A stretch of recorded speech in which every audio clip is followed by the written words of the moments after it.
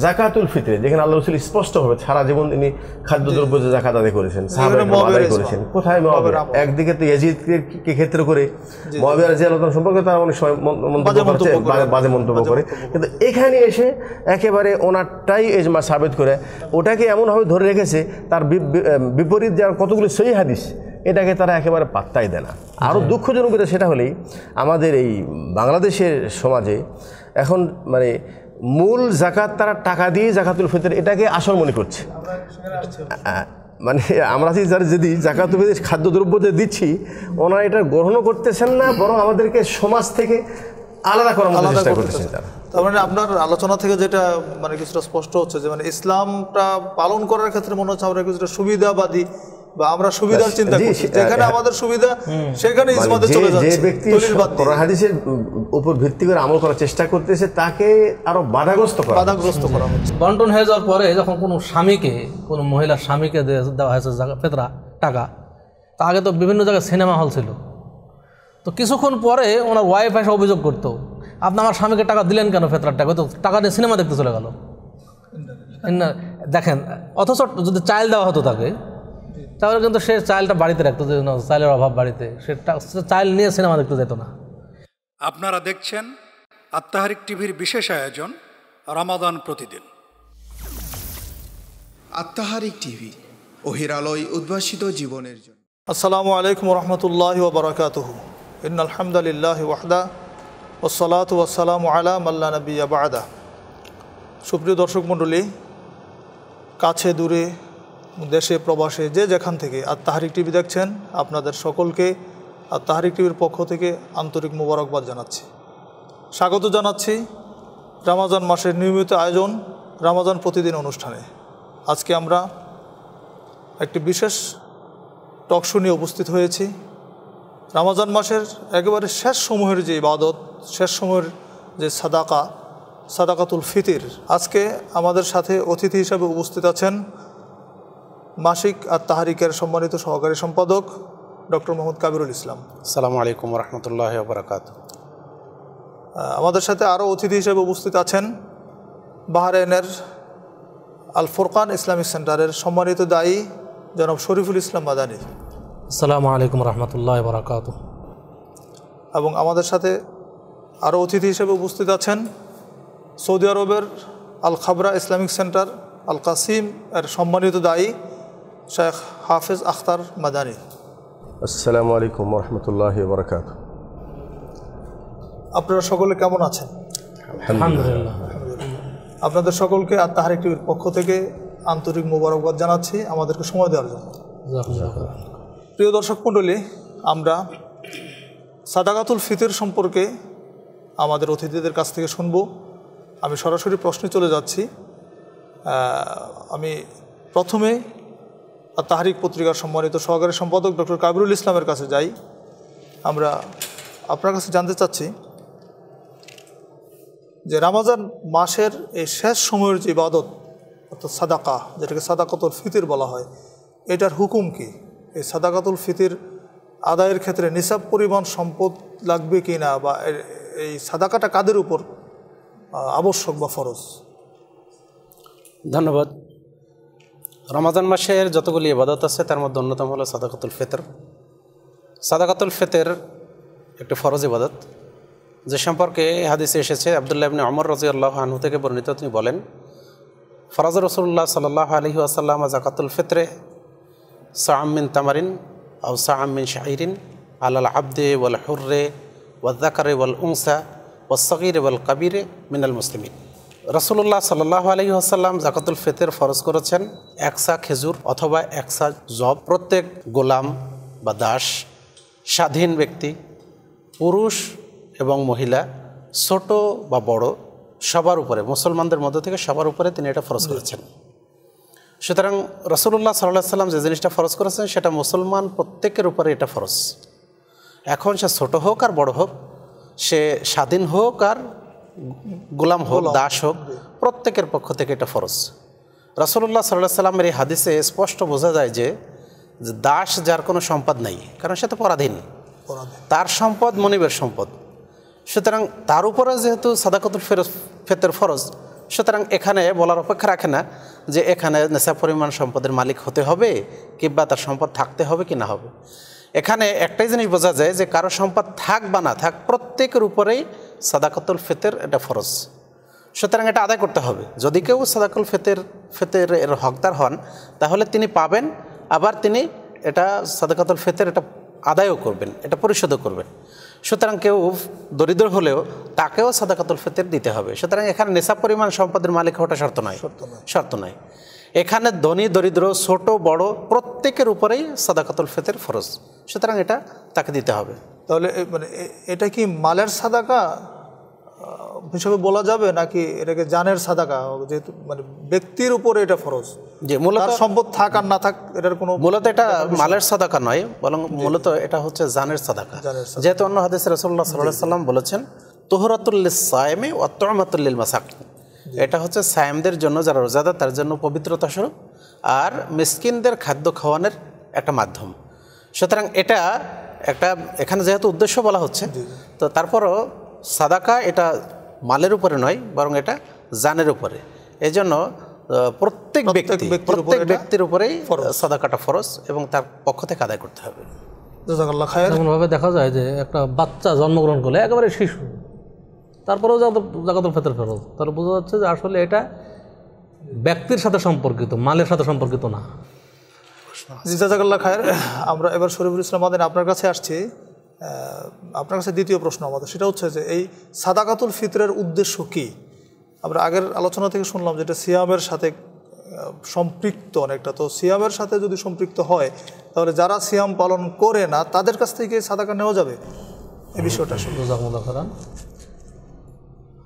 এক্ষেত্রে বলব রাসুল্লাহ সাল্লাহ সাল্লাম একটা হাদিস আবদুল্লাহ ইবনে আব্বাস রাজিল্লাহ বলছেন, ফারাদা রাসুল্লাহ সাল্লাম জাকাত আল ফেতরে তোহরাত আল্লিসায়েম ও তোয়ামাত আল্লিল মাসাকিন রাসুল্লাহ সাল্লাহ সাল্লাম জাকাতুল ফেতর ফরজ করেছেন তোহরাত আল্লিসায়েম মানে সিয়াম পালনকারীর বা সাওমের পবিত্রকারী হিসেবে। ওয়া তোয়ামাত আল্লিল মাসাকিন এবং মিসকিনদের খাদ্য হিসেবে। তো এই হাদিস থেকে আমরা বুঝতে পারছি যে ফেতরা ফরজ করার উদ্দেশ্য একটা হলো হ্যাঁ দুইটা হলো দুইটা এখানে মূলত। সেটা একটা যে সিয়ামের পবিত্রকারী। তাহলে অবশ্যই সিয়ামের সাথে সম্পর্কিত একটা বিষয় থাকছে এখানে একটা একদিক থেকে। আর আরেকটা শুধু সিয়ামের সাথে সম্পর্কিত না একটা বাইরে অন্যের সাথে। সেটা হলো মিসকিনদের সাথে। এটা মিসকিনদের খাদ্য। আরও কিছু ওলামায় গ্রাম এখানে উদ্দেশ্যর কথা বলেছেন। সেটা হলো যে এই জাকাতুল ফেতরের মাধ্যমে একটা গরিবরাও যেটা দিতে অভ্যস্ত হওয়া শুধু নেওয়া না গরিবরা শুধু নিতেই থাকবে নিতেই থাকবে জাকাতুল ফেতর সবার উপরে ফরজ করার মাধ্যমে তাদের সবাইকে কষ্টের কষ্টের মধ্যেও তারা কিছু দিবে দেওয়াতে অভ্যস্ত অভ্যস্ত হওয়া। এটাও একটা উদ্দেশ্য এখানে নিহিত আছে বলে ওলাম একরাম উল্লেখ করেছেন। জি জি আমার মনে হয় অন্য কোনো ক্ষেত্রে এরকম সকলের উপর প্রযোজ্য কোনো দানের বিষয়টা অন্য কোনো ক্ষেত্রে মনে হয় নেই যেটা এখানে আছে। যেটা এখানে আছে সেটা অন্য কোনো ক্ষেত্রে নেই। সবার ক্ষেত্রে প্রযোজ্য এটা। যে আপনি সুন্দর বলেন উদ্দেশ্যটা যে এটা আসলে সবাইকে অভ্যস্ত করা। জি। একবারে ছোট থেকে দান তার পক্ষে দান করা। হ্যাঁ আরেকটা উদ্দেশ্যের কথা বলছেন যে এখানে যে গরিব ধনী সবাই যেন ঈদের দিন মানে আনন্দে সবাই একসাথে শরিক হতে পারে সামিল হতে পারে। এটাও একটা উদ্দেশ্য এখানে আছে। তাহলে এই মোট কয়েকটা উদ্দেশ্য নিয়েই আসলে জাকাতুল ফেতর ফরজ রাসুল্লাহ সাল্লাহ আলী আসাল্লাম করেছেন।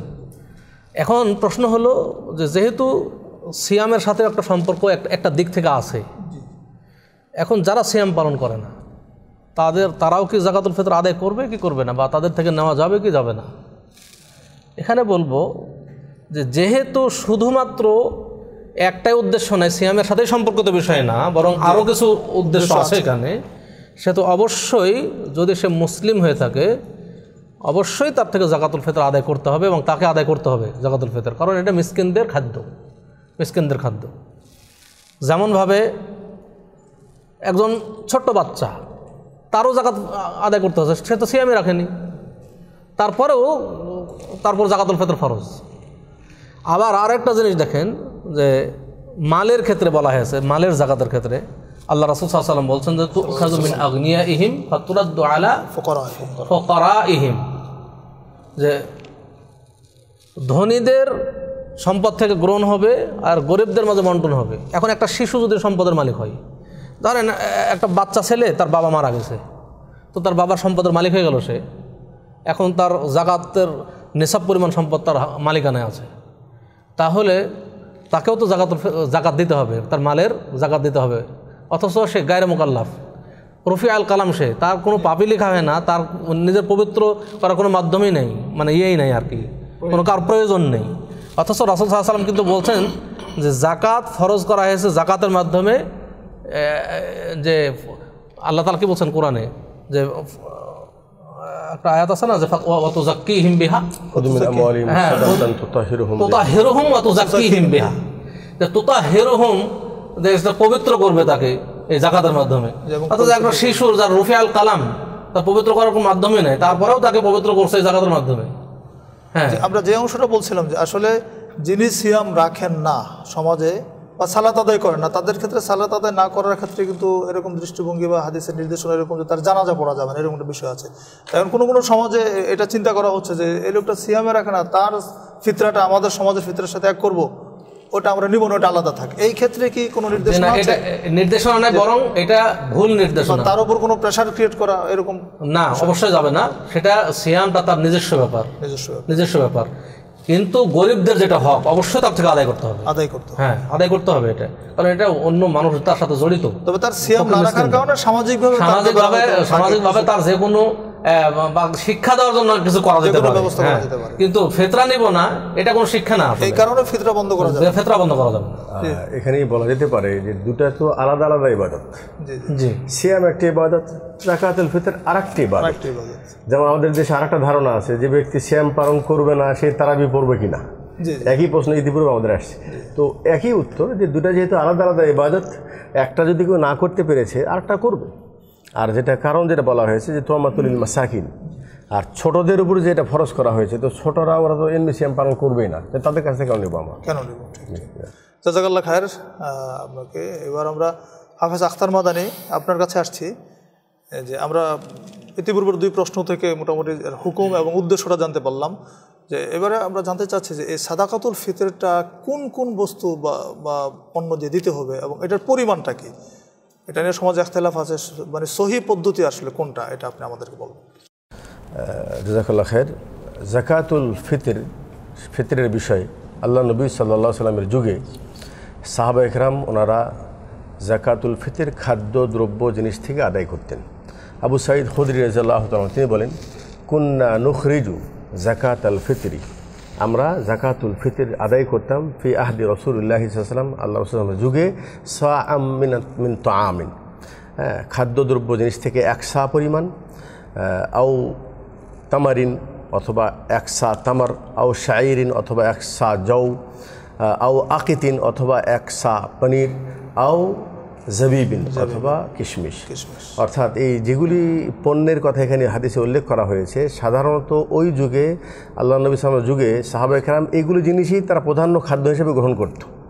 হ্যাঁ, কেউ খেজুর তার জন্য প্রাধান্য ছিল বা জও কিশমিশ পানির। এখনও আরবরা এগুলি খাদ্য হিসেবে কিন্তু গ্রহণ করে থাকে। তো জাকাতুল ফিতর আল্লাহ নবী সাল্লাহ সাল্লাম তিনি খাদ্যদ্রব্য থেকেই দিয়েছেন। খাদ্যদ্রব্য ছাড়া টাকা দিয়ে তিনি আদায় করা মর্মে কোনো দলিল পাওয়া যায় না। অতএব জাকাতুল ফিতর আদায় করতে হবে খাদ্যদ্রব্য থেকেই এবং তার পরিমাণটা হলো এক সা। আর এক সা যেটা এটা একটা পরিমাণ এটা পরিমাপ নয় ওজন নয় হ্যাঁ, এটা একটা পরিমাণ। আর আসলে সা এটা একটা কি বলে এটাকে? পাত্র। একটা পাত্র। আর একবার সা হেজাজি মানে মদিনার যেটা পাত্র। এই এই পাত্রটি আসলে এখানে যদি এক এক সময় এক এক রকম জিনিস দেন চাল দিলে হয়তো তার একটা ওজন হতে পারে। আটা দিলে হয়তো আরেকটা ওজন হতে পারে পানি দিলে ওজন চেঞ্জ হয়ে যেতে পারে। তা আসলে মূলত ওই পাত্র যদি কারও বাড়িতে বা এটা যদি সব সব বাড়িতে থাকতো তাহলে পাত্র দিয়ে ওজন করে দেওয়াটাই সবচেয়ে বেটার ছিল। হ্যাঁ, কিন্তু এই পাত্রটা এখন সব জায়গায় নেই।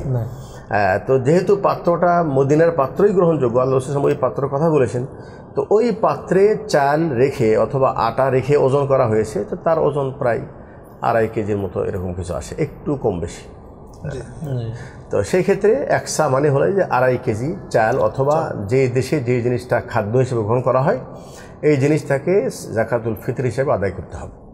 এক সা পরিমাণ। পরবর্তীতে মোয়াবিয়া রাজি আল্লাহ তাল আনহুর সময় এসে উনি যখন হজ এবং ওমরা এসেছিলেন তখন জনগণের উদ্দেশ্যে তিনি ভাষণ দিচ্ছিলেন যে যেহেতু আমরা তখন মদিনায় আল্লাহ রসুলের যুগে গম ছিল না। শাম থেকে গম এসেছে আর গমের দাম বেশি। গমের দাম বেশি। তো মহাবিয়া রাজি আল্লাহ তালন তিনি রাষ্ট্রীয় সিদ্ধান্ত দিলেন যে যেহেতু গমের দাম বেশি সেহেতু আধা সা পরিমাণ আমরা জাকাতুল ফিতর আদায় করব। তো তখন কিন্তু আবু সাইদ খুদরে তিনি বাধা প্রয়োগ করেছিলেন যে না, আমরা যেভাবে যেই পরিমাণ আল্লাহ নবী সালামের যুগে আমরা আদায় করতাম, আমরা ওই পরিমাণ এক সাই আমরা আদায় করব। উনি এটাকে প্রতিহত করেছেন।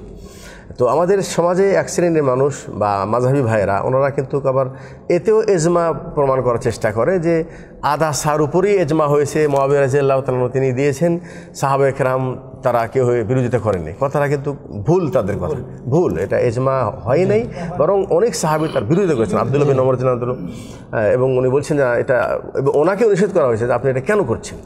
তো এটা এজমা নাই এবং আমরা সর্বক্ষেত্রেই তো আল্লাহ নবী সাসামের আদর্শটাকে গ্রহণ করার জন্য নির্দেশ দেওয়া হয়েছে। স্পষ্ট যেখানে মিন মিন স্পষ্ট স্পষ্ট।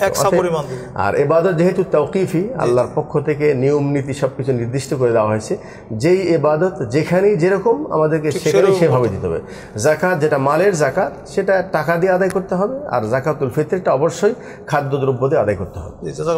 আরেকটা জিনিস যোগ করব। দেখেন এখানে একটা প্রেক্ষাপটে মহাবীরা যত্ন করেছিলেন প্রেক্ষাপটটা ছিল কি? যে আধা সা গম এক সা খেজুরের সমান মূল্য। জি জি আমি আসছি। আমি- আমি সেখানে আসছি জাজাকাল্লাহ খায়ের। আমরা এই প্রশ্নটা ডক্টর কাবিরুল ইসলামের কাছে রাখছি যে আসলে উনি যেটা বললেন যে এক সার যে হাদিস উনি উল্লেখ করলেন যে হাদিসটা এর বাইরে আদাসা বা নিসফে সা বলে কোনো হাদিসের কোনো শব্দ বা কোনো রেওয়ায়ত কি আছে এরকম? যদি না হয় যেটা উনি বললেন শেখ আখতার মাদিনী হাফিজ আখতার মাদিনী সাহেব বললেন যে এই যে মোয়াবিয়া রাদি আল্লাহর আমলের যেটা চালু এটা আসলে কোন প্রেক্ষাপটে হলো? কি কারণে? এই বিষয়টা যদি আপনি আপনি একটু আমাদের মানে এই যে আমাদের আক্তার মাদানী ভাই যে হাদিসটা বললেন যে সৈব বকারের এক হাজার পাঁচশো তিন নম্বরে আবু সাইদ খুদির রাজিউল্লাহ থেকে ওই হাদিসটাই যে মহাবের রাজিউল্লাহু উনি হজের সফরে বা উমরাতে এসে জনগণের উদ্দেশ্যে তখন বক্তব্য দিলেন। বক্তব্য দেওয়ার ক্ষেত্রে তখন তিনি এই কথাটা বললেন যে এখন যে পরিস্থিতি দেখা যাচ্ছে তাতে এই উম, আধা সা গম একসা খেজুরের সমান। তাহলে তোমরা আদাসা আদায় করতে পারো। মানে গমটা যেহেতু বাইরে থেকে আমদানি বাইরে থেকে আমদানি হয় এবং সেটা অনেক অনেক বেশি দাম ছিল ওই সময়। যে কারণে তিনি এটা তার ইস্তেহাত ছিল এটা। এটা তার ইস্তেহাত। এবং এই ইস্তেহাদটা কিন্তু সাহাবেকরাম মানেননি। যেমন আবু সৈয়দ রাজিয়াল্লাহ খুদ্ রাজিয়াল্লাহ নিজেই এটার প্রতিহত করেছিলেন যে না এটা আমরা রাসুলের যুগে যেভাবে আমরা একসা খাদ্যদ্রব্য দিতাম আমরা এখনও ওইভাবে একসা খাদ্যদ্রব্যই আদায় করব। এক্ষেত্রে আরও একটা আমরা বলতে চাই হাদিস বলতে চাই যে রসুল্লাহ সাল্লাহ সাল্লাম থেকে আরেকটা হাদিস আছে তিনি বলছেন আদু সাম মিন তামিন ফিল ফিত্রে। তোমরা ফেতরা আদায় করো একসা খাদ্যদ্রব্য দিয়ে। এটা সিলসিলা সহিহার এক হাজার একশো উনআশি নম্বরে হাদিসটা এসেছে এবং সহিহুল জামের দুইশো বিয়াল্লিশ নম্বরে হাদিসটা সংকলিত হয়েছে। তো এখানে দেখা যাচ্ছে আল্লাহ রসুল কিন্তু নির্দেশ দিয়েছেন সরাসরি আদু তোমরা আদায় করো আদায় করো। আর আরবির যে কায়দা আছে একটা আমরুলি লুজু সুতরাং এখানে বোঝা যায় মানে বলা যায় যে রাসুলের আদেশ এটা এই আদেশটা কিন্তু অজীবের পর্যায়ে। সুতরাং এখানে একসা খাদ্যদ্রব্যই তাকে দিতে হবে। মানে মুসলমান। পরিবর্তন করার কোনো সুযোগ। সরাসরি আমর আছে। এখানে নাস যেহেতু আছে সুতরাং ওখানে এক্সতেহাদের কোনো সুযোগ নেই। এবং ভাই যেটা বললেন যে মানে আমাদের মাঝাবি ভাইরা বলে থাকেন যে এর উপরে সাহাবেকরামের ইজমা হয়েছে। এজমা মানে সবার একমত থাকতে হবে বিরোধী কেউ থাকবে না। কিন্তু এখানে আবদুল্লাহ ইবনে ওমর তারপর আবু সাইদ খুদ্ রাজি কিন্তু সরাসরি বিরোধিতা করছেন যে না এটা চলবে না। তাহলে এটা এজমাও নয়। সুতরাং রাসুল সাল্লাহ সাল্লাম যেটা নির্দেশ দিয়েছেন আমাদেরকে ওই নির্দেশেই প্রতিপালন করতে হবে। তো এই ইজমাটা তো এখানে আসলে একসার উপরে যেহেতু এত বড় মজবুত দলিল আছে ইজমা তো ওইটা হওয়া দরকার। জি। যেটা একসা পরিমাণ সাদাকা দিলে এটা তো গরিবের উপকার। তাই না পরিমাণটা বেশি হবে। তো কমটার ক্ষেত্রে যেটা ইস্তিয়াদ হয়ে একটা কারণবশত যেটা একটা মৌসুমে উনি এটা মূল্যের বিবেচনা করলেন এটাতে ইজমা করে এটাই সারা পৃথিবীতে চালু করতে হবে। বিষয়টা মনে হচ্ছে কিছুটা কি বলব গরিবদেরকে ঠকানোর একটা ঠকানো বঞ্চিত করার সরাসরি একসার নস আছে রাসুল সালাম থেকে সরাসরি নির্দেশ। সেখানে একটা আমাদের বিষয় হলো যে ইজমা চলবে কোথায়? এজমা যেখানে চলবে যেখানে নস থাকবে না। যেখানে কোরআন হাদিস নাই সেখানে বা সরাসরি পাওয়া যাচ্ছে না সেখানে এজমা চলবে। সেখানে গবেষণা চলবে। যেখানে সরাসরি নির্দেশ আছে কোরআন হাদিসের দলিল আমরা পাচ্ছি সেখানে তো এজমার প্রয়োজন নেই। ওজনের বিষয়টা আমার ছুটে গেছে মানে ওজনের ক্ষেত্রেও দুটা ওজন এখন দুনিয়াতে মানুষেরা মেনে থাকে। একটা হলো হেজাজি ওজন যেটা আমি বললাম আড়াই কেজির মতো। আর আর একটা হলো ইরাকি ওজন। আর ইরাকি সাটা প্রায় সাড়ে তিন কিলো মতো চলে আসে। সাড়ে তিন কিলো। এটা হলো হেজাজি সাটা পাঁচ রিতিল বা সোয়া পাঁচ রিতিল এরকম আসে রিতিল মাপে। আর যেটা ইরাকি সা এটাতে প্রায় সাড়ে আট রিতিল আসে। সেই হিসাবে সাড়ে তিন কিলো পরিমাণ হয়। তো ওনারা ওই নেসফো সা হিসাবে সাড়ে তিন কিলোর অর্ধেক সাধারণত আমাদের মাঝাবি ভাইয়েরা আদায় করে থাকেন ওজন। তো আমরা কালমা পড়ি নবী মোহাম্মদুর রসুল্লাহ সালামের আদর্শ তো আমরা তারই নেওয়া উচিত। আমরা সবসময় মদিনের দিকে ফিরে যাওয়া উচিত। কিন্তু এখানে একটু আমি স্মরণ করে দিই হয়তো আমাদের পরবর্তী আলোচনাটা আসবে কি না যে দেখেন সর্ব সব ক্ষেত্রে যেন মনে হচ্ছে যে তারা আল্লাহ রসুল ইসলাম আদর্শ আদর্শটাকে এড়িয়ে চলার চেষ্টা করে তারা। তারাবির ক্ষেত্রে তারা এজমা সাবিত করতেছে অমর জেলা ওনার এজমা ছিল। জাকাতুল ফিতরে যেখানে আল্লাহ রসুল স্পষ্টভাবে সারা জীবন তিনি খাদ্যদ্রব্য যে জাকাত আদায় করেছেন আদায় করেছেন। কোথায় একদিকে তো ইয়াজিদকে কে ক্ষেত্র করে রাদিয়াল্লাহু আনহু সম্পর্কে তারা অনেক সময় মন্তব্য বাজে করছে বাজে- মন্তব্য করে। কিন্তু এখানে এসে একেবারে ওনারটাই এজমা সাবিত করে ওটাকে এমনভাবে ধরে রেখেছে তার বিপরীত যার কতগুলো সহি হাদিস এটাকে তারা একেবারে পাত্তাই দেয় না। আরও দুঃখজনক সেটা হলেই আমাদের এই বাংলাদেশের সমাজে এখন মানে মূল জাকাত তারা টাকা দিয়ে জাকাতুল ফিতর এটাকে আসল মনে করছে মানে আমরা যারা যদি জাকাতুল ফিতর খাদ্যদ্রব্য যে দিচ্ছি ওনারা এটা গ্রহণও করতেছেন না বরং আমাদেরকে সমাজ থেকে আলাদা করার চেষ্টা করতেছে। করতেছেন তারা তার মানে আপনার আলোচনা থেকে যেটা মানে কিছুটা স্পষ্ট হচ্ছে যে মানে ইসলামটা পালন করার ক্ষেত্রে মনে হচ্ছে আমরা কিছুটা সুবিধাবাদী বা আমরা সুবিধার চিন্তা করছি। যেখানে আমাদের সুবিধা সেখানে মানে ইসমাতে চলে যে ব্যক্তি। কোরআন হাদিসের উপর ভিত্তি করে আমল করার চেষ্টা করতেছে তাকে আরও বাধাগ্রস্ত করা বাধাগ্রস্ত করা হচ্ছে। আর ওনারা ব্যাখ্যা বা এদিক সেদিক কথাবার্তা সেটাকেই ইসলামের রূপ দিয়ে চালানোর চেষ্টা করে রূপ দিয়ে চালানোর চেষ্টা করছে। জাজাকাল্লাহ খায়ের আপনাকে। আহ, এবার আমরা শরীফুল ইসলাম মাদানী আপনার কাছে আসছি যে এর মধ্যে প্রসঙ্গক্রমে প্রসঙ্গক্রমে টাকার প্রসঙ্গ চলে এসেছে। তো আমাদের সমাজে, বিশেষ করে বাংলাদেশে কিন্তু টাকা দিয়ে ফিতরা দেওয়ার আস্তে রেওয়াজটাই সবচাইতে বেশি। এবং এই ক্ষেত্রে কিছু যুক্তি দাঁড় করানো হয় যে এই ফকির মিসকিনদেরকে চাউল দিব, তারা বোঝাবো, সেটা নিয়ে যাবে, নিতে চায় না, আবার এই চালগুলি জমা করা, এটা একটা মানে বাড়তি একটা ঝামেলা।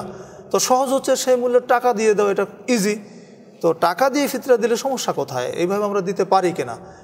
এটা টাকার ফিতরা দেওয়া জায়েজ কিনা? শরীয়তের দৃষ্টিভঙ্গিতে আপনি এই বিষয়টা দর্শকদের উদ্দেশ্যে বলবেন। জাজাকমুল্লাহ খায়রান সুন্দর প্রশ্ন করেছেন বর্তমান প্রেক্ষাপটে টাকা দিয়ে ফেতরা আদায় করা যাবে কি না বিষয়টা অত্যন্ত গুরুত্বপূর্ণ। তো টাকা দিয়ে ফেতরা আদায় করা যাবে না এই সমস্যা একটাই যে রাসুল হাসলাম করেননি সাহাবা একরাম করেননি তাবে নিজাম করেননি। রাসূল ইমামরাও কি করেছেন? ইমামরাও করেননি। সাহাবা একরাম এর জামানায় টাকা ছিল রাসুল সাল্লামের জামানায় কিন্তু মুদ্রা ছিল। বর্তমান দেখেন আমাদের বাড়িতে সবার বাড়িতে খাদ্য থাকে চাল থাকে আমরা দিলেই দিয়ে দিতে পারি। কিন্তু রাসুল সাল্লামের জামানায় কারও বাড়িতে খাদ্য থাকতো না। অধিকাংশ সাহাবা একরামের বাড়িতে খাদ্য থাকতো না। গরিব মানুষ ছিল অভাবে ছিলেন তারা। তারা তো ইচ্ছা করতে পারতেন যে আমরা তো যে খাদ্যটা কিনে ফেতরা দেব সেটা টাকায় দিয়ে দিই তারা কিনে নেবে। টাকা বলতে ওই সময় মুদ্রা ওই- ওই সময়ের যে মুদ্রা। মুদ্রা ছিল। যে সে মুদ্রা দিয়ে দেবো তারা কিনে নেবে। তো কিন্তু সাহাবাইকরাম বা রাসুল সাহাম সাহাবাইকরাম এটা মনে করেননি কখনো। তারা খাদ্য কিনে নিয়ে এসে ফেতরা আদায় করেছেন। অতএব যেহেতু সাহাবাইকরাম থেকে তাবাই নিজাম থেকে এবং কোনো মাঝাবে ওটা নাই কিন্তু। ইমাম আবু হানিফা রহমতুল্লাহ বলেন, ইমাম শাফি রহমতুল্লাহ বলেন, তারা কখনোই কিন্তু টাকা দিয়ে ফেতরা আদায় করেননি। অতএব আমাদের টাকা দিয়ে ফেতরা আদায় করা যাবে না। টাকা দিয়ে ফেতরা আদায় করলে অনেক অপকারিতাও আছে এর মধ্যে। যেমন, যখন টাকা দিয়ে ফেতরা আদায় করছি তখন দেখবেন যে একজন সম্পদশালী মানুষ, ধনী মানুষ, যে একশো টাকা কেজি দরের চাল খায়। সেও টাকা দিচ্ছে, দেখা যাচ্ছে যে যেটা নির্ধারণ হচ্ছে যে এত টাকা ফেতরায় বছরের। সেও সেই টাকা দিয়ে ফেতরা আদায় করছে একজন রিক্সা চালকও একই টাকা দিয়ে ফেতরা আদায় করছে অথচ সে বিশ টাকা কেজি দরের চাল খায়। অথচ ফেতরা দিতে হতো যে যে মানের খাদ্য খায়, সে সে মানের খাদ্য দেবে একসা একসা পরিমাণ। তাহলে আমি যদি একশো টাকা কেজি দরের চাল খাই, আমার একশো টাকা কেজির চাল যদি একসা একটা গরিব মানুষকে দিই, সে কোনোদিন কিনতে পারে না। এত দামি চাল কোনো কিনে খায় না সে।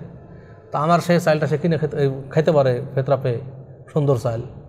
তো এটা উপকারিতা আছে। আবার দেখেন, যখন টাকা দিয়ে ফেতরা আদায় হয়, অনেক সময় আমরা আগেও আমাদের আমরা ছোটোতে মানে দেখেছি, টাকা দিয়ে ফেতরা আদায় করতাম আমরা। তো কী হয়েছে? যখন বন্টন হয়ে গেছে সেখানেও কম বেশি হয়। তো বন্টন কম বেশি তো আছেই। বন্টন হয়ে যাওয়ার পরে যখন কোনো স্বামীকে, কোনো মহিলার স্বামীকে দেওয়া হয়েছে ফেতরা, টাকা, তা আগে তো বিভিন্ন জায়গায় সিনেমা হল ছিল। তো কিছুক্ষণ পরে ওনার ওয়াইফ এসে অভিযোগ করতো, আপনি আমার স্বামীকে টাকা দিলেন কেন ফেতরার টাকা তো টাকা নিয়ে সিনেমা দেখতে চলে গেল। দেখেন, অথচ যদি চাইল দেওয়া হতো তাকে, তাহলে কিন্তু সে চাইলটা বাড়িতে রাখতো, যে চাইলের অভাব বাড়িতে, সে চাইল নিয়ে সিনেমা দেখতে যেত না। আবার অনেক মানুষ দেখা যায় যে ফেতরা খাওয়ার হকদারি না। হকদারি না হ্যাঁ সুস্থ সবল মানুষ ফেতরা খাওয়ার হকদার না। কিন্তু যখন টাকা দিচ্ছেন তখন তার নাম তখন সে লজ্জাও লাগে না শরম লাগে না সে সে টাকাটা পকেটে বুঝে নিয়ে চলে যাচ্ছে। কিন্তু যখন চাল ধরায় দিতেন না দেখতেন যে লজ্জা করতো না আসতোই না আসতোই না। আসতোই না। তো এই অপকারিতাগুলো আছে এখানে আরেকটা বিষয় যে মানুষ যে বলে যে অসুবিধে খুব সমস্যা বন্টনের সমস্যা। বন্টনের সমস্যা কেন হবে? সমস্যা বা নিতে চায় না। নিতে চায় না তারা। এখানে একটা জিনিস মনে রাখা উচিত যে আমাদের ফেতরাটা গরিবের বাড়িতে পৌঁছায়া দেওয়া এটা আমাদের দায়িত্ব। আমরা যদি পৌঁছায়া দিই নেবে না কেন? অবশ্যই সে নেবে। কিন্তু আমাদের কি বর্তমানে আমাদের মাইন্ড হয়ে গেছে তারা নিতে আসবে তখন আমরা দেব। তখন আসে কি তারা দূর দূর থেকে অনেক গরিব মানুষ আসে। এই আমরা চাল হাতে করে কীভাবে নিয়ে যাব? টাকা দিলে ভালো হতো কিন্তু আসলে তো তা না। বরং আমাদের দায়িত্ব কর্তব্য হলো তাদের বাড়িতে পৌঁছায় দেওয়া। হ্যাঁ পৌঁছায় যখন আমরা দেব তখন দেখবেন তারা খুশি হবে আরও খুশি মনে তারা নেবে এবং এদের এতে তাদের মহব্বত আরও বৃদ্ধি হবে। বলছিলাম এই মানে খাদ্য দ্রব্য দিয়ে জাকাতুল ফিতর আদায় করার মধ্যে আর একটা গুরুত্বপূর্ণ যেটা বিষয় সেটা হলো এই যে এর মধ্যে কিন্তু ইসলামের একটা নিদর্শন আছে সে আ এর ইসলাম। যেমন কুরবানির ক্ষেত্রে আমরা কুরবানি কিনে কেন দিই? সেখানে তো একই অবস্থা। কুরবানি কিনে দেওয়া কুরবানি করাটাই উত্তম বেশি। কুরবানির বিপরীত কেউ যদি মনে করে টাকা দিয়ে সহজ বর্ণন করা সহজ কিন্তু না কুরবানির সময় একজন কুরবানি জবাই করবে গায়ে রক্ত লাগবে নিজে গোস্ত খাবে গোস্ত আরেকজনকে খাওয়াবে গোস্ত নিয়ে যাবে। এই যে মানে অমুসলিমরা দেখা হতে মুসলিমদের মাঝে একটা ভ্রাতৃত্ব এটা বুঝতে পারবে। জাকাতুল ফিতরের ক্ষেত্রেও টাকা দিলে কিন্তু কিছু দেখা যায় না বোঝা যায় না। তাই না কি?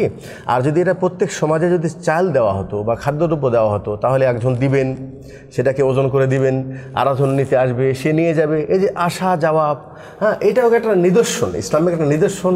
হ্যাঁ জি মানে জি। এই সেক্টরে কিছু মানুষ ব্যস্ত থাকবে। জি জি জি জি। জি এটা গুরুত্বপূর্ণ। আর একটা সেটা হলো যে যেটা একটু আগে বললাম যে এবাদতের তৌকিফ। এখানে যেটা পরিবর্তন করার সুযোগ নেই। এবার আমরা আসলে আপনার কাছে আসছি হাফেজ আখতার মাদানি যে আমরা শুনলাম যে টাকা দিয়ে ফিতরা দেওয়া যাবে না এবং একসা পরিমাণ দিতে হবে, অর্ধসা দেওয়ার কোনো ভিত্তি নেই। তো এখন আপনার কাছে প্রশ্ন হচ্ছে যে এই ফিতরাটা আমরা আদায় করব কখন? কোন সময় ফিতরাটা আদায় করব এবং বন্টন করব? এটা নিয়ে কিছু এখতেলাফ আমাদের সমাজে আছে। কেউ ঈদের আগে বন্টন করছেন, কেউ বলছেন পরে বন্টন করা যাবে বা আদায় কখন করবে, জমা করবে নাকি এক মানে এককভাবে নিজে নিজে আদায় করে নেবে? এই ক্ষেত্রে শরীয়তের নির্দেশনাটা কী? জাজাকাল্লাহ খের জাকাতুল ফিতর আদায় করার সময়টাকে আমরা তিন বিষয়ে ভাগ করতে পারি। একটা হলো ওয়াক্তুল উজুব এটা ওয়াজিব হয় কখন আর একটা হলো আমি আদায় করব কখন, আর এটা বন্টন করব কখন। তো ওয়াজিব হওয়ার সময়টা আসলে ঈদুল ফিতরের চাঁদ ওঠার সাথে সাথে জাকাতুল ফিতর আদায় করা ওয়াজিব হয়ে যায়। ওয়াজিব হওয়ার মানে হলে যে এই চাঁদ ওঠার পূর্বে অথবা সূর্য ডোবার আগে যদি কোনো ব্যক্তি মারা যায়, তাহলে সে যেহেতু উজুবের সময় পেল না, অতএব তার উপর জাকাতুল ফিতর ওয়াজিব হবে না। আর যে ব্যক্তি সূর্য ডোবার পরে যদি কোনো ব্যক্তি জন্মগ্রহণ করে অথবা ইসলাম গ্রহণ করে তাহলে সে যেহেতু উজুবের সময় পেল মানে ঈদগাহ যাওয়ার আগ পর্যন্ত অতএব সে ব্যক্তিও তার জাকাতুল ফিতর তার উপর ওয়াজিব হবে এবং আদায় করবে। আচ্ছা আমরা আদায় করব কখন? আদায় করার বিষয়ে আল্লাহ নবী সাল্লাহ সাল্লাম এটা একটা উত্তম সময় আর একটা হলো জায়েজ সময়। এটা উত্তম সময় সেটা হলো ঈদের দিনে ফজরের পর পরে ঈদগাহে যাওয়ার পূর্বে। ঈদের দিনেই, ফজরের পর থেকে নিয়ে ঈদগাহে যাওয়ার পূর্বের সময়টা একেবারে উত্তম বলেছেন ওলামা একরাম। এ বিষয়ে আল্লাহ নবী বলছেন যে, মান আদাহা কাবলাস খুরুজিন নাসি ইলাল মুসাল্লা যে ব্যক্তি মানুষরা ঈদগাহে যাওয়ার পূর্বে আদায় করবে, ফাহিয়া সাদাকাতুন মাকবুলা। তাহলে সেটা জাকাতুল ফিতর মাকবুল মানে কবুল ফিতরা হিসেবে কবুল কবুল হবে। ওমান আদাহা বাদা সালাত আর যে ব্যক্তি বাদা সালাত আদায় করবে ফাহিয়া সাদাকাতুম মিন সাদাকাত। সেটা সাধারণ দান হিসেবে গণ্য হবে। জাকাতুল ফিতরের যেটা মূল উদ্দেশ্য মানে তোহমত তোহরতুল সাইম তোহমতুল মাসাকিন সেটা এই ফজিলত থেকে সে বঞ্চিত হয়ে যাবে। এটা হলো উত্তম সময়। আর একটা হলো জায়েজ সময়। জায়েজ সময় সময় বলতে যে সূর্য ডুবার পর থেকে নিয়ে একেবারে ঈদগাহে যাওয়ার আগ পর্যন্ত এই সময় যে কোনো সময় দিতে পারে। তার দেওয়ার জন্য ইখতিয়ার আছে। এবং ওলামায়কেরাম বলছেন যে যদি কোনো ব্যক্তি নিজে আদায় করে তাহলে এই সময় দেওয়া তার জন্য উত্তম বেশি। আর যদি কোনো মুআসসাসা কোনো দিনী প্রতিষ্ঠান অথবা সরকারের যেটা বাইতুল মাল আছে সেখানে যদি কোনো আদায়কারী কাছে যদি সে আদায় করে দেয় তাহলে একদিন অথবা দুই দিন পূর্বে সে আদায় করতে পারবে। জাকাতুল ফিতর আদায় করতে পারবে। হ্যাঁ বেশি আগে আদায় না করা উচিত। যেহেতু আল্লাহ রসুল বলছেন যে তোহরাতুল সাইম সাইমের যেটা ছোটোখাটো ভুল ত্রুটি আল্লাহ পাকে এটাকে ক্ষমা করে দিবেন। তো সেটা তো তাজকিয়া মানে সিয়ামটাকে পবিত্র করবে। তো যদি আমি দশ দিন আগে আদায় করে দিই তাহলে আমার যে বাকি দশ দিনের সিয়াম থাকবে এটা অতটা পবিত্র হবে না। এক দুই দিন একান্ত প্রয়োজনের স্বার্থে যেহেতু সেটাকে একত্রিত করতে হবে বা সময়ের হ্যাঁ সময়ের কারণে আদায় করতে পারবে। তাহলে ওয়াজিবের সময় জানলাম আর আমরা আদায় করব তখনও সময়টা জানলাম। আর একটা বিষয় যেটা একটু আগে বলেছি যে অবশ্যই ঈদে ঈদগাহে যাওয়ার পূর্বে তাকে আদায় করতে হবে। ঈদগাহে যাওয়ার পরে আদায় করলে জাকাতুল ফিতর আদায় হবে না। বন্টনের ক্ষেত্রে যদি কোনো একক ব্যক্তি এককভাবে আদায় করে তাহলে অবশ্যই তাকে ঈদগাহে যাওয়ার আগে আদায় করতে হবে। আর যদি কোনো সংস্থাকে দেয় তাহলে ওই ব্যক্তি একদিন পূর্বে অথবা দুদিন পূর্বে অথবা ঈদগাহে যাওয়ার পূর্বেই যদি আদায় করে দেয় তাহলে তার পক্ষ থেকে আদায় হয়ে গেল। আদায় হয়ে গেল। আর যারা এটাকে গ্রহণ করেছেন যেই ইসলামিক হ্যাঁ, জি, বাইতুল মাল যারা ওনারা চেষ্টা করবেন ঈদগাহে যাওয়ার আগেই যদি বন্টন করে তাহলে বেশি ভালো যেহেতু মিসকিনদের জন্য যেন ঈদে তারা পরিবহন বা শরিক হতে পারে। এবং ওলামা এখানে বলছেন যে কমপক্ষে যদি ঈদের দিনে সূর্য ডোবা পর্যন্ত এটাকে বন্টন করা হয় তাহলে বেশি ভালো। হ্যাঁ যেহেতু মূলত ঈদের দিনটাই তাদেরকে মানে খুশি শরিক হওয়াটাই মূল উদ্দেশ্য। এবং একটা হাদিসেও আল্লাহ রসুল বাইহাকির হাদিস ইঙ্গিত দিয়েছেন যে আগনো হুম ফি হাদ আল ইয়ৌম যে তোমরা তাদেরকে এই দিনে গনি করো মানে যেন তাকে এই দিনে কাউকে চাইতে না হয়। হ্যাঁ এই দিনে তার জন্য চাওয়া না হয়। এবং আরেকটা বিষয় সেটা হলে যে তারা তো জাকাত গ্রহণ করবেন। তো ইনি ফকির হওয়ার পরেও কিন্তু যেহেতু তার সিয়ামের পবিত্রতার প্রয়োজন আছে অতএব তিনি তো জাকাত ফিতর আদায় করবেন। তো তিনি যদি একটু আগেই পেয়ে যেত তাহলে তিনিও কিন্তু ওখান থেকে তার জাকাতুল ফিতরটা আদায় করতে পারত। অতএব আমরা ইনশাল্লাহ এটাকে সালাতে যাওয়ার পূর্বেই আদায় করার চেষ্টা করব। আর যদি আমরা দায়িত্বশীল হাতে তুলে দিই তাহলে আমাদের আদায় হয়ে যাবে ওনারা। আগে বন্টন করলে বেশি ভালো। যদি ঈদের পরে বন্টন করতে চায় তাহলে একান্ত ঈদের দিনে ভালো। আর না হলে তার পরের দিনেই যত তাড়াতাড়ি এটাকে বন্টন করা যায় অত ভালো। তার মানে এটাকে ইচ্ছা করলে কয়েকদিন পর্যন্ত বিলম্বিত করা এটা শরীয়ত সম্মত হবে? এটা শরীয়তসম্মত অনেক জায়গায় দেখা যাচ্ছে আমাদের সমাজে যেটা অনেক জায়গায় দেখা যাচ্ছে ঈদ হলো আমার ব্যস্ততা আছে একটু অবসর হই। তো দুই তিন দিন রিল্যাক্সে দুই তিন দিন পার করে দিয়ে তারপরে সমাজের যারা মাতব্বর বা বা মসজিদ কমিটির যারা আছে তাদেরকে ডেকে একটা মিটিং করা হয় দুই তিন দিন পরে। একদিন বা দুই দিন পরে পয়সা তখন একটা তালিকা করে তারপরে এটা বন্টন করে। তো এই যে একটা এখানে ডিলে করা হচ্ছে এটা এইটা আসলে ওনাদের বলা যেতে পারে ওনাদের বিলাসিতা। বিলাসিতা ওনারা নিজেরাই আসলে ঈদের খুশিটাকে পরিপূর্ণভাবে তারা এটাকে গ্রহণ করতে চায় আর গরিবদেরটা ওটাকে পিছিয়ে রাখে যে ঈদের দিন আমি আত্মীয় স্বজনে থাকব ঈদের পরের দিন ব্যস্ত থাকব তারপরে। একদিন দুই দিন করতে পারেন ম্যাক্সিমাম তারপরে। এবং অন্যের যখন দায়িত্ব আপনার উপর দেওয়া হয়েছে তাহলে এটাকে সময় মতো তাদের কাছে পৌঁছানো এটা তো আমাদের ইমানই দায়িত্ব। সময় মতো অবশ্যই আদায় করা উচিত। জি জাজাকাল্লাহ খায়ের আমরা শাহেখের আলোচনা থেকে এ বিষয়টা অত্যন্ত ক্লিয়ার হলো পরিষ্কার হলো যে আমরা সাদাকাতুল ফিতরটা কোন সময় আদায় করব এবং কোন সময় বন্টন করব। অর্থাৎ বন্টনের ক্ষেত্রে যারা আমরা দায়িত্বশীল কখনো গরিমসি করা ঠিক হবে না। ঈদের সালাতের আগে যদি করা যায় এটা খায়ের বেশি উত্তম। আর একান্ত সম্ভব না হলে ঈদের দিন সূর্যাস্ত পর্যন্ত এর মধ্যে করার চেষ্টা করতে হবে, সেটা ওলামা ইকরাম এর পক্ষমত দিয়েছেন। তারপরেও যদি একান্ত সম্ভব না হয়, সেটা ম্যাক্সিমাম একদিন বা দুই দিন পর্যন্ত হয়তো ডিলে করা যেতে পারে, এটা রোকসাত। সেজন্য আমরা অবশ্যই চেষ্টা করব যে আমরা সঠিক পদ্ধতিতে এই ইবাদতটা যেন, এই ফিতরাটা যেন আদায় করতে পারি। আল্লাহ রব্বুল আলমিন আমাদের সকলকে সেই তৌফিক দান করুন, আমিন। প্রিয় দর্শক, বিরতি দিচ্ছি আমরা, ছোট্ট একটি বিরতি। আপনারা আমাদের সাথে থাকুন। আমরা আবার বিরতির পরে আরও কিছু প্রশ্ন উত্তর নিয়ে আপনাদের সামনে উপস্থিত হব।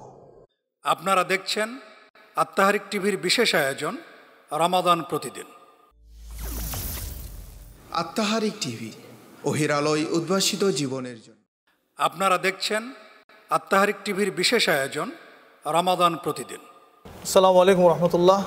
প্রিয় দর্শক মণ্ডলী বিরতির পরে আমরা আবারও কিছু গুরুত্বপূর্ণ প্রশ্ন নিয়ে উপস্থিত হয়েছি। আপনারা দেখছেন সাদাকাতুল ফিতির বিষয়ক টকশো প্রিয় দর্শক, আমরা এ পর্যায়ে ডক্টর কাবিরুল ইসলামের কাছে যাচ্ছি। যে ডক্টর কাবিরুল ইসলাম, আপনার কাছে আমাদের প্রশ্ন হচ্ছে, আমরা আগের প্রশ্ন উত্তরে জানতে পেরেছি যে সাদাকাতুল ফিতরটা কখন আদায় হবে, বন্টন কখন হবে। এবং এককভাবে আদায় করবে নাকি জমা করবে? তো আসলে এককভাবে আদায় করা আর এক জায়গায় জমা করা, এক্ষেত্রে কোনটা উত্তম? এখানে শরীয়ত কোনটাকে অগ্রাধিকার দিচ্ছে? যেটা আমরা তো চাই উত্তমটা করতে।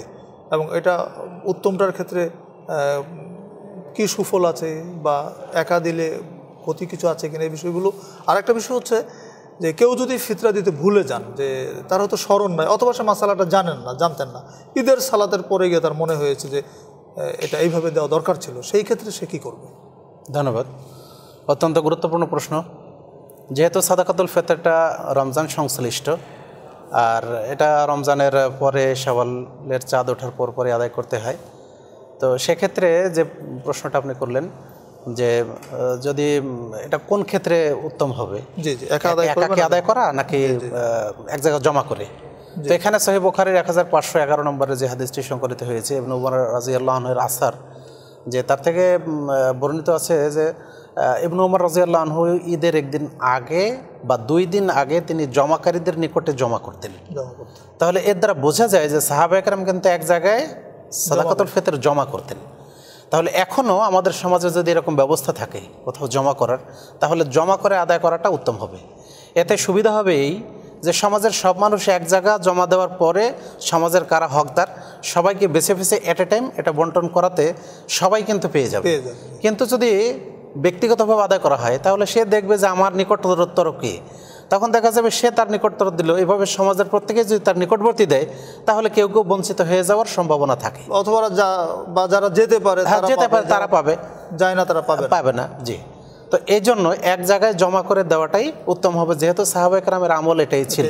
সেহেতু আমরা ওইটাই চেষ্টা করব যে যদি এক জায়গায় জমা করে দেওয়া সম্ভব হয় তাহলে সেটা আমরা এটা তো রাষ্ট্রীয়ভাবে এরকম কোনো ব্যবস্থা যদি না থাকে মহল্লা মহল্লা তো জমা করতে পারে। হ্যাঁ এখন সামাজিকভাবে। মহল্লা মহল্লায় বা সামাজিকভাবে এক সমাজের এক জায়গায় জমা হলো জমা করে বা- ওইভাবে তারা বন্টন করল। অথবা যদি যেমন যেমন সৌদি আরবে মোয়াসাসা আছে।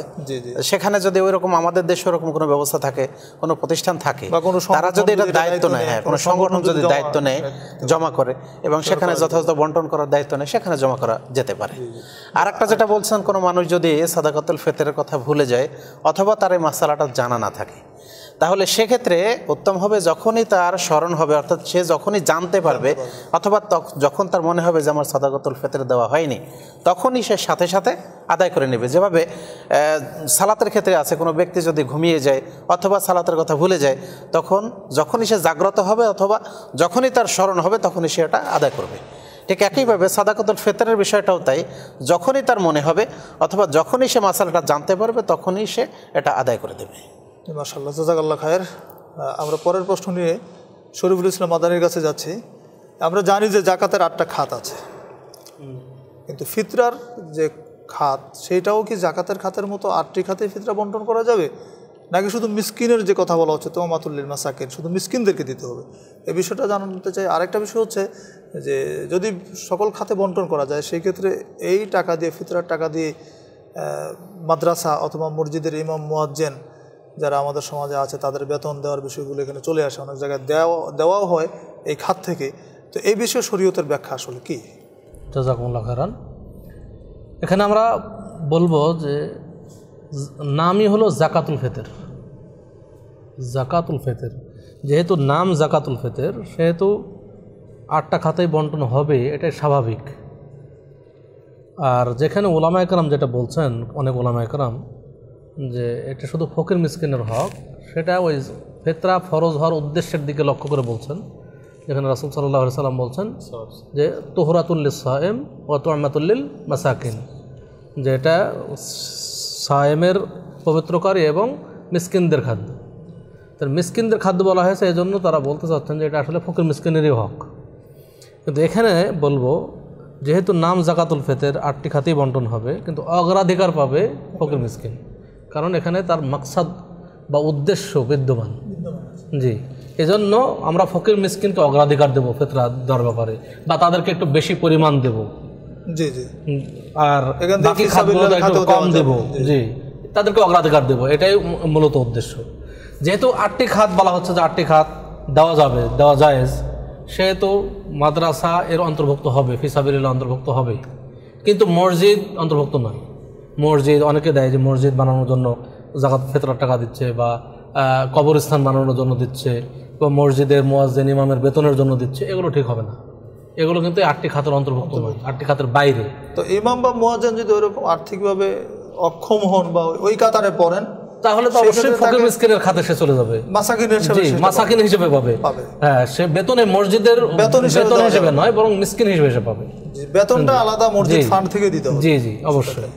জাজাকাল্লাহ আরেকটা জিনিস আমি যোগ করতে চাই, সেটা হলেই অনেক সময় দেখা যায় যে মানুষ যে আটটা খাতে বন্টন করা যাবে সেই উদ্দেশ্যে অনেকে আবার ফেতরার এখান থেকে কিছু জমা করে কিছু ইসলামী বই পুস্তক কিনে লাইব্রেরিতে পাঠাগারে রাখার জন্য বা বিতরণ করার জন্য যেটা করেন।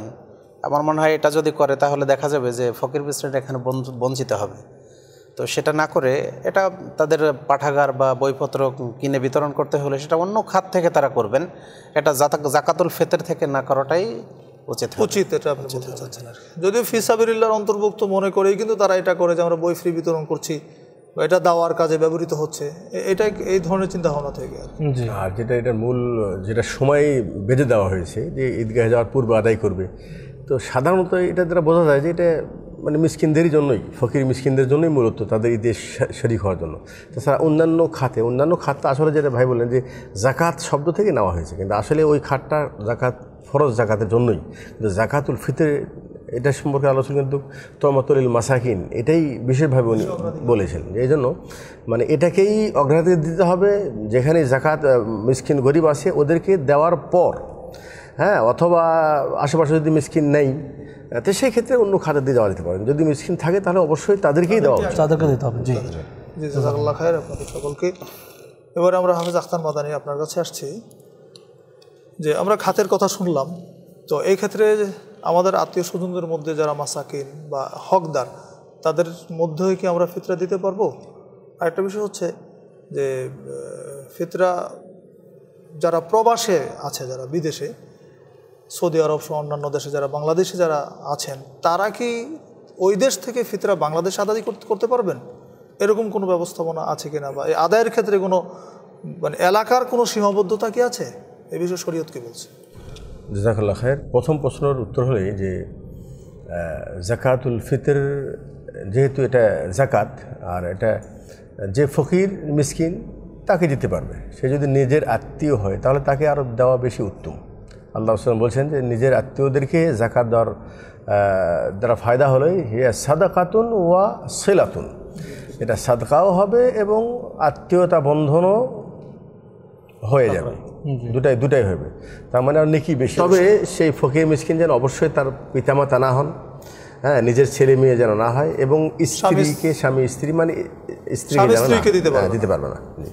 বাকি অন্যান্য যে কোনো আত্মীয়দেরকে যদি গরিব হয় দিতে পারবে। স্বামী স্ত্রীকে দিতে পারবে না কিন্তু স্ত্রী স্বামীকে দিতে পারবে? হ্যাঁ জি। জি স্ত্রী স্বামী যে আরেকটা প্রশ্ন ছিল যে প্রবাসী যারা তারা এই দেশে ফিতরা দিতে পারবে? আসলে এ বিষয়ে শরীয়তের যেটা বিধান সেটা হলে যে ব্যক্তি যেই দেশে অবস্থান করছে হ্যাঁ ওই দেশেই তার উপর কিন্তু জাকাতুল ফিতর তার উপর ওয়াজিব হয়েছে। হ্যাঁ তা মানে মূল যে আসল যেটা সেটা হলে সে ওই দেশে আদায় করবে। এটাই স্বাভাবিক। কিন্তু যদি এমনটা হয় যে না, ওখানে আদায় না করায়, অন্য যদি তার নিজে, সে যদি অন্য প্রবাসী থাকে, যেটা বলেন যে নিজের দেশে কোনো কারণবশত যদি সে তার জাকাতটাকে ট্রান্সফার করতে চায় কারণ বলতে তার আত্মীয় আছে, অথবা কারণ বলতে যে ওখানে চাইতে নিজের দেশে হকদার বেশি। এ বিষয়ে সৌদি আরবের যিনি প্রধান গ্র্যান্ড মুফতি ছিলেন বা ফকিহ ইবিন ওসাইম রহমুল্লাহ ওনার কথাটা আমি নকল করতে চাই যেন সবার জন্য জিনিসটা স্পষ্ট হয়ে যায়। উনি বলছেন, ওনাকে জিজ্ঞাসা করা হয়েছে যে আমরা জাকাতুল ফিতর অন্য দেশে নিয়ে যেতে পারব কিনা। এখানে দুটো বিষয়, একটা হলো যে জাকাত আমরা তো দেবো চাল বা খাদ্যদ্রব্য। তাহলে সেটা আমি কীভাবে ট্রান্সফার করব? হ্যাঁ, এটা একটা বিষয় আর একটা ট্রান্সফার করতে পারব কিনা। তো প্রথম যেটা বলব যে ও বিষয়ে উনি বলছেন নাম এজিজু এজুজু নাকলু জাকাত মিন বালাদিন ইলা বালাদিন ওখরা ওয়ালাকিন আন আফদার আন ইউফারিকাহা ফি বালাদিহি। উত্তম হলো যে দেশে আছে ওই দেশে আদায় করা। ইল্লা ইদা কানা ফিন নাকলি মুসলিহা। কিন্তু যদি ট্রান্সফার করার ক্ষেত্রে যদি তার কোনো উদ্দেশ্য থাকে সৎ উদ্দেশ্য থাকে কেমন সেটা? মিসলে আইয়াকুন আলাহু আকারিব ফি বালাদিন আখার মিন আহলি জাকা তার আত্মীয় আছে। আত্মীয়র হক বেশি। সে অন্য দেশে আছে। সে তার কাছে ট্রান্সফার করতে পারবে। ফায়ুরিদু আইয়ান কুলাহা ইলাইহিম। আও ইয়াকুন বালাদুল আখার আখসারু হাজা মিন বালাদি। তা আমাদের যারা প্রবাসী যে ভাইয়েরা আছে নিশ্চিত ওই দেশগুলি আমাদের দেশে যাতে ধনী দেশ। অনেক উন্নত ধনী দেশ। জি জি। আর সেখানে চাইতে আমাদের দেশে আসলে অনেক বেশি পরিমাণ গরিব। অতএব যেহেতু আলামা একরাম ফতুয়া দিয়েছেন আর আল্লাহ রসুলের সময় তো ওই সময় তো এই সুযোগ ছিল না যে এক দেশ থেকে আরেক দেশে জাকাতুল ফিতর আদায় পাঠাবে। সুযোগও ছিল না, ওই মশলাটাও আসে না এটা পরবর্তীতে এই বিষয়টা আমাদের প্রয়োজন হয়েছে, ওলামা একরাম ফতুয়া দিয়েছেন, তাহলে অন্য দেশে এটা দেওয়া পাঠানো যায়, এতে কোনো সমস্যা নেই। এখন যখন পাঠাবো, তাহলে আমি খাদ্যদ্রব্য পাঠাবো নাকি টাকা পাঠাবো? প্রথমত যে আমি যে দেশে আছি, আমাকে কিন্তু সেই দেশের পরিমাণ আমার উপর ওয়াজিব হবে। অর্থাৎ এখানেই বাংলাদেশে সাড়ে তিন কিলো চালের টাকা দিব নাকি সৌদি আরবে সাড়ে তিন কিলো চালের টাকা দিব আদায় করব, যদি টাকা পাঠাতে চাই। আর আড়াই কিলো। তো যেহেতু আমি যেই দেশে আছি ওই দেশে যেহেতু ওই খাদ্যদ্রব্য পাঠানো সম্ভব না তো ওখানে আড়াই কিলো পরিমাণের চালের যেটা মূল্য হবে সেই মূল্যটা তারা দেশে পাঠিয়ে দিবে এবং দেশে হয় তার পরিবারকে অথবা যার মাধ্যমে পাঠাচ্ছে তাকে সে মোকাল্লাফ করবে। তাকে সে দায়িত্ব দেবে সে যেন তার টাকা দিয়ে খাদ্যদ্রব্য কিনে গরিবদের মাঝে ভন্ন করে দেয়। সময়ের মধ্যে। জি জি মানে ওকিল বানায় দিবে বানাই দিবে, বানায় দিবে। মানে টাকাটা সরাসরি বন্টন করবে না আবার এখানে সে ওই টাকা দিয়ে চাউল কিনবে। সে যেন সে যেন খাদ্যদ্রব্যই আদায় করবে আদায় করবে। এটা দেশেও সম্ভব যেন আমি জাকাতুল ফিতর আদায় করব চাল দিয়ে কিন্তু আমি বাজারে যেতে পারছি না। আমি আপনাকে টাকা দিয়ে বলতে পারব না যে আপনি আমার পক্ষ থেকে চাল চাল কিনে আপনি এটা দিয়ে দিন? একই জিনিস। তো বিদেশ থেকে যেহেতু খাদ্যদ্রব্য পাঠানো সম্ভব না সেহেতু ওখান থেকে টাকা কিন্তু টাকার পরিমাণটা ওখানকার হিসাবে হওয়াটাই বেশি ভালো। যেহেতু ওখানে আছে ওখানে চারের মূল্য বেশি। হ্যাঁ সেই মূল্য তারা দেশে পাঠাবে তবে অবশ্যই একজন দায়িত্বশীলকে সে দায়িত্ব দিবে সে যেন তার পক্ষ থেকে এটা আদায় করে দেয়। এটা আদায়ের ক্ষেত্রে কি যে ঈদের সালাতের আগে আদায় করতে হবে। সেই ঈদের সালাতটা কি আমাদের দেশে বাংলাদেশে ঈদের সালাত হবে না? সে যেই দেশ থেকে পাঠাবে সেই দেশের ঈদের সালাত হবে। ও ওই ব্যক্তি যে দেশে আছে সে দেশে অবশ্যই তাকে ঈদগাহে যাওয়ার আগে তাকে আদায় করতে হবে। ওই দেশে ঈদগাহে যাওয়ার আগে এই দেশে তার চাউলটা আদায় হয়ে যেতে হবে। হ্যাঁ হ্যাঁ। এই দেশে সে আদায় করে দিবে। মানে সে টাকাটা পাঠিয়ে দিবে। হয় টাকা পাঠিয়ে দিবে অথবা তার দেশে ফোন করে দিবে যে আমার পক্ষ থেকে এত টাকার চাল তুমি কিনে নাও। দায়িত্বশীলকে যখন সে দায়িত্ব দিয়ে দিছে তার পক্ষ থেকে আদায়। আদায় হয়ে গেছে। আমাদের দেশে যেমন একদিন পরে ঈদ হয় তা আমরা যদি তার পরের দিন আমাদের তখন আমাদের দেশে বন্টনে যেটা হবে সেটা আমাদের ঈদ হিসাবে। জি। কিন্তু তারা আদায় করবে তাদের ঈদের তারিখ হিসাবে। এখানে প্রশ্ন থেকে যাচ্ছে যে উনি তো টাকাটা দিলেন উকিলকে। উকিলকে বলা হচ্ছে যে আপনি আমার এই ফিতরার টাকা দিয়ে চাউল কিনে আপনি আদায় করবেন। জি তো যে দেশে দিচ্ছেন যে দেশে দেশে ওই দেশের ঈদগাহে যাওয়ার আগে দিলেই হয়ে যাবে। ও যেই দেশে দিচ্ছেন ওই দেশের ঈদগাহ যাওয়ার আগে। কিন্তু তিনি তো তার আদায়টা তিনি তো তিনি তো আদায় করে দিয়েছেন তার তো দায়িত্ব সালাত হয়ে গেল। জি হয়ে দায়িত্ব এটা দিয়ে দিয়েছে। দায়িত্ব দিয়ে দিয়েছে দায়িত্ব দেওয়ার কারণে তার আদায় হয়ে যাবে। তার আদায় হয়ে যায় এটা সেম ও যদি কোনো সংস্থাকে দেওয়া হয় তাহলে সংস্থা তো ঈদের পরে বাড়তে পারে। এটাও সংস্থার মতোই। তবে আমরা বলতে পারে যদি সম্ভব হয় তারা ওই সালাতের আগেই চাউল কিনে দিতে পারে। দিতে পারে দিতে পারে। যেহেতু আসলে কোনো- হয়ে যায় হ্যাঁ কোনো তারা যদি একদিন হ্যাঁ একদিন আগে যদি আদায় করে তো অনেক সময় দেখাচ্ছে ওখানে দিন আমাদের এখানে সন্ধ্যা হয়ে গেছে। তারা যদি উত্তম সময় বের করতে চায় তাহলে সন্ধ্যার পর মানে আমাদের তখন রাত হয়ে গেছে। তখন তাদের ঈদগাহে যাওয়ার পূর্বে আমরা হয়তো চাল কিনি হ্যাঁ তখন গরিবদের দেওয়াটা অনেক সময় কষ্টকর হয়ে তারপরেও বলব যে চেষ্টা করতে হবে যে চেষ্টা করতে হবে। আর যদি আমাদের ঈদগাহের আগেও আদায় করা যায় তাহলে ইনশাল্লাহ এতে কোনো সমস্যা নেই। সমস্যা হবে না। জাজাকাল্লাহ খায়ের অত্যন্ত স্পষ্ট উত্তর দিয়েছেন। এবারে আমরা ডক্টর কাবিরুল ইসলাম আপনার কাছে জানতে চাচ্ছি যে হকদারদের মধ্যে ফকির এবং মিসকিন দুইটা শব্দ এসেছে। তা আসলে ফকির মিসকিন কারা? আমাদের সমাজে কিছু মানুষ আছে, খেটে খাওয়া মানুষ, কিছু অল্প কিছু জমি আছে বা তাদের সংসার কিছু দিন চলে, কিছু চলে না। এই সমস্ত মানুষ যারা তারা কি আসলে ফকির মিসকিন হিসাবে কোনটার মধ্যে পড়েন বা তারা এই ফিতরার হকদার কিনা? এ বিষয়ে যদি আপনি একটু বলতেন। ধন্যবাদ।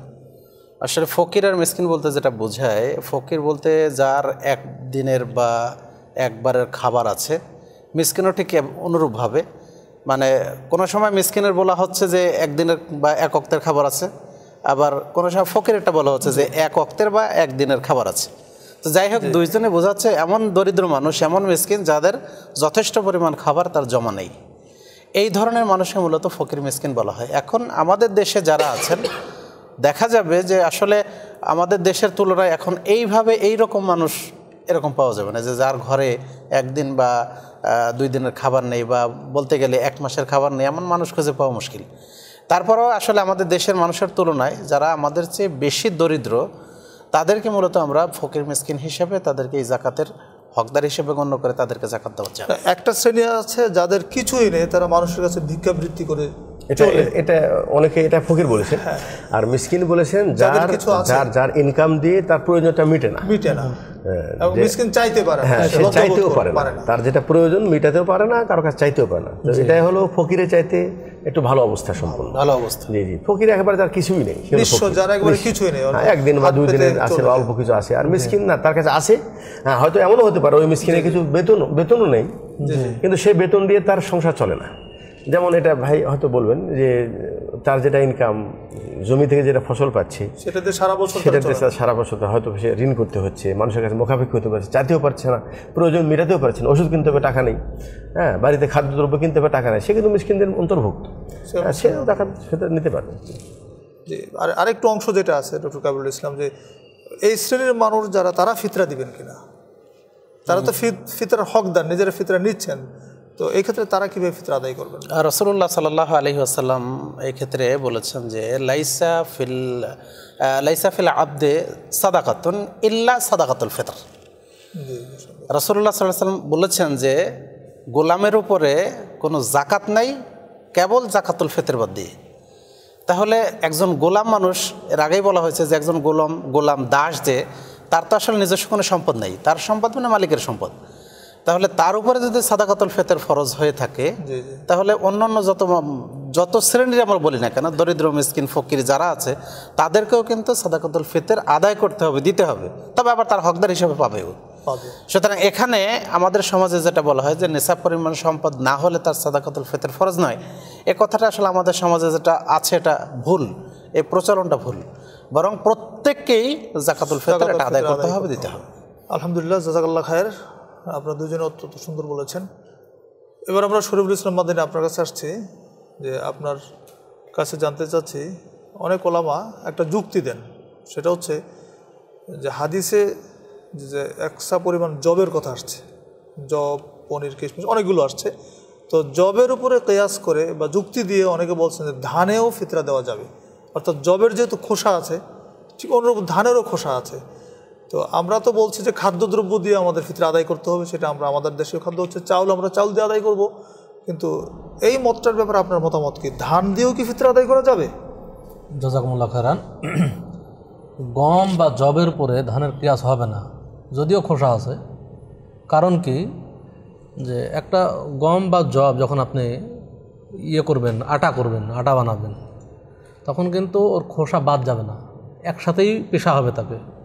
পিষে আটা বানানো হবে। কিন্তু ধান তা কিন্তু না। ধানের খোসা আগে ছড়াইতে হবে। তারপর চালের আটা বানাতে হবে। গম যখন আপনি আটা বানাবেন, দেখবেন যে ওর নাকস বা কমবে না তেমন।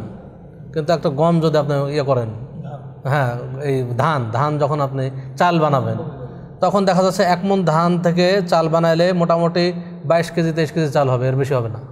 তাহলে এটা অনেক কমে যাচ্ছে। অতএব কেয়াস এটা মাল ফারেক। এ অসামঞ্জস্যশীল মানে কেয়াস এটা। তো এই জমের জবের উপর বা গমের উপর কেয়াস করে ধান দিয়ে জাকাত আদায় করা যাবে এটা ঠিক নয়। আর চাল অনেকে বলেন যে চালের তো চাল দিয়ে জাকাত আদায় করা যাবে এর কোনো দলিলই নাই। হ্যাঁ কিন্তু দলিল আছে দলিল নাই কেন? রসুল্লাহ সাল্লাহ সাল্লাম কি বলছেন? স আমিন তো আমিন খাদ্য খাদ্য বস্তু খাদ্যদ্রব্য। যে দেশের যেটা খাদ্য সেটাই দেবে। যেটাকে মানুষ ভালোবাসে বেশি পছন্দ করে খাবারের জন্য। সেই দেশে সেটা দিয়েই জাকাত দেওয়া, ফেতরা আদায় করা তার জন্য বেশি ভালো, উত্তম। যেমন আমাদের দেশে আমাদের দেশে মানুষ চালই বেশি পছন্দ করে। চাল দিয়ে দেবো। পাকিস্তানের মানুষ বেশি আটা পছন্দ করে, ওরা চাল ভাত খায় না। তা আটা দিয়ে দেবে তারা, যে রুটি খায় তারা। তো এই জন্য যে দেশের যেটা প্রধান খাদ্য, সে খাদ্য দিয়ে দেবে। আমার দেশের চাল প্রধান খাদ্য চাল দিয়ে দেবে। আর জবের পর গমের, বা জবের পর ধানের কোনো কেয়াস চলবে না। বাস্তবেও কিন্তু তাই কারণ ধান ধান কিন্তু আমরা সরাসরি খেতে পারি খেতে পারি না। আমরা ভেজে কিন্তু গম খেতে পারি কিন্তু ধান কিন্তু ভেজেও খাওয়া না। কিন্তু গম দেখুন সরাসরি খাওয়া যায়। সরাসরি খাওয়া যাচ্ছে। এবং গম থেকে যেমন যেমন অ্যারাবিয়ান কান্ট্রিতে দেখবেন যে হারিস নামে একটা বাড়ায় গমের মতোই দেখেছেন?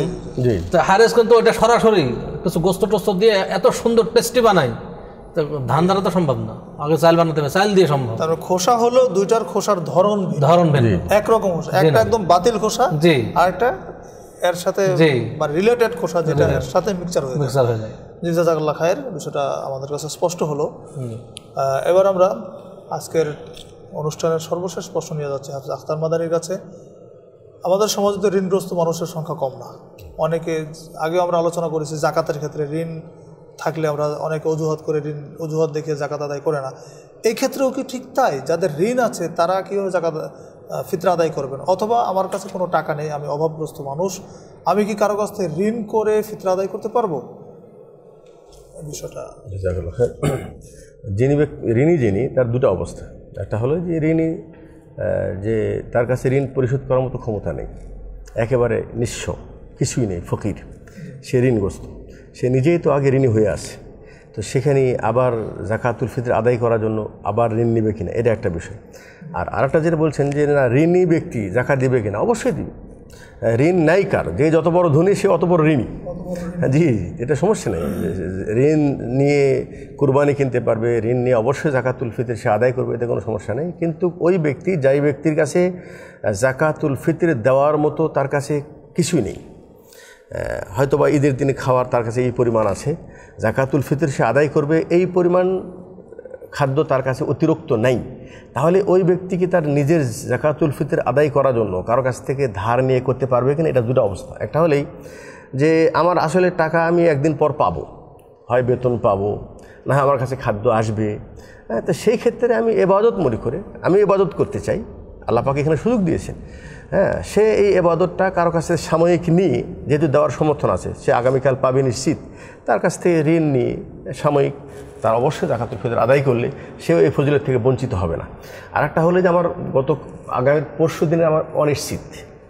আমি যদি এখন ঋণ নিয়ে দেই তাহলে সেই ঋণটা পরিশোধ করার মতো সামনে আমার কোনো পরিকল্পনা আমার কোনো কিছু অবলম্বন তো সেই ক্ষেত্রে সে বেচারা তো আরও নিজেকে আরও কষ্টের দিকে এগিয়ে নিয়ে গেল। সেই ক্ষেত্রে সে ঋণ নেওয়ার প্রয়োজন নেই। ঋণ না নিয়ে সে সমর্থনে রাখে না। এবং ওলামা একরাম এটাও বলছেন যে আসলে মূলত জাকাতুল ফিতির ওই ব্যক্তিদের উপরেই মূলত ওয়াজিব। যেই ব্যক্তির কাছে ঈদের দিনের খাদ্যের প্রয়োজন, নিজের বা নিজের প্রয়োজনে যেটা খাদ্যের যে যে পরিমাণ থাকা তার প্রয়োজন, এর চেয়ে অতিরিক্ত থাকলে তবেই সে জাকাতুল ফিতর আদায় করবে। অতিরিক্ত বলতে মন কেমন থাকবে না। জাকাতুল ফিতরের যে পরিমাণ, এই পরিমাণ ঈদের দিনের খাদ্যের চাইতে বেশি থাকলে ওই ব্যক্তি আদায় করবে। যদি নাই, তাহলে হ্যাঁ ওটাকে নতুন করে ঋণ নিয়ে করতে, করার কোনো প্রয়োজন নেই। তারপরে যদি বললাম যে তারা যদি পাওয়া যদি নিশ্চিত থাকে যে আমি পাবো, তাহলে সেক্ষেত্রে ঋণ নিয়ে আদায় করতে পারে। ফোকারা মাসাকিনের ক্ষেত্রে কি একই মাসালা, যে তারাও কি আদায়ের ক্ষেত্রে যদি একদিনের ঈদের দিনের খাবার থাকে। বা তারা যেটা আদায় করছে বিভিন্ন জি, জায়গা থেকে সেটা যদি সেইখান থেকে তারা ফিতরা আদায় করে। এখানে একটা বিষয় সেটা হলেই যে গরিব সে আসলে এত গরিব যে ঈদের দিনে খাওয়াও তার কাছে নেই। কিন্তু শরীয়ত তো আমাদেরকে বলছে যে তোমরা ঈদগাহে যাওয়ার আগেই মিসকিনদেরকে তোমরা জাকাতুল ফিতর আদায় করে দাও। তো যদি ঈদগাহে যাওয়ার পূর্বেই ওই ফকির যদি ধনী হয়ে যায় কিছু ছিল না তার কাছে। ঈদের দিনে কি খাবে সেটাও তার কাছে ছিল না কিন্তু ফিতরা পেয়ে ফিতরা পেয়ে পেয়ে গেছে। পেয়ে- পেয়ে জি, ফিতরা পেয়ে গেছে যেহেতু ঈদগাহে যাওয়ার পূর্বে তার ঈদের দিনে খাওয়াও তার কাছে সঞ্চয় হয়ে গেছে এবং সে ফিতরা আদায় করতে পারবে। ক্ষমতা চলে আসছে। সেক্ষেত্রে অবশ্যই তার আদায় করবে কারণ এটা একটি ইবাদত। আল্লাহ পাক ফরজ করে দিয়েছেন। সে এখন সমর্থবান হয়ে গেছে। ঈদের দিনে খাওয়ার অতিরিক্ত খাওয়া তার কাছে চলে আসছে। অতএব সে অবশ্যই আদায় করবে। হ্যাঁ যদি তার জানা নেই সে এত ফকির ঈদের দিন খাওয়াটা আছে তার কাছে এখনও কেউ জাকাতুল ফিতর দেয় নেই। দেয় সেই ক্ষেত্রে সে অপারক। এই জন্য আমার মনে হয় শরীর বলেছে তোমরা ঈদগাহে যাওয়ার পূর্বেই তাদেরকে দিয়ে দাও। তাই নাকি? যেন তারা ঈদের দুই কাজে শরিক হতে পারে। ঈদও যেন খুশি মনে আদায় করতে পারে এবং তাদের জাকাতটাও যেন তারা আদায় করতে পারে। জি অনেক শুক্রিয়া আপনাদের সবাইকে। জাজাকুমুল্লাহ খায়ের বারাকাল্লাহ ফিক। আমাদেরকে সময় দেওয়ার জন্য আপনাদের সবাইকে আবারও আন্তরিক আন্তরিক কৃতজ্ঞতা জানাচ্ছি। সম্মানিত দর্শক মণ্ডলী, আজকে আমরা আজকের এই টক শোতে সাদাকাতুল ফিতির সম্পর্কে অনেকগুলো প্রশ্নের উত্তর আমরা শুনেছি অতিথিদের কাছ থেকে এবং এর মাধ্যমে আমাদের কাছে অনেকগুলি সমস্যার সমাধান আমরা কোরআন এবং সই হাদিসের আলোকে আমরা পেয়েছি। একটা জিনিস মনে রাখতে হবে যে ইবাদত, আমাদের আলোচনা এসেছে, ইবাদতটা হচ্ছে তাওকিফি, অর্থাৎ আল্লাহর পক্ষ থেকে তার নবীর মাধ্যমে যেই ইবাদতটা যেইভাবে পেয়েছে ঠিক সেভাবে আমাদের আদায় করতে হবে।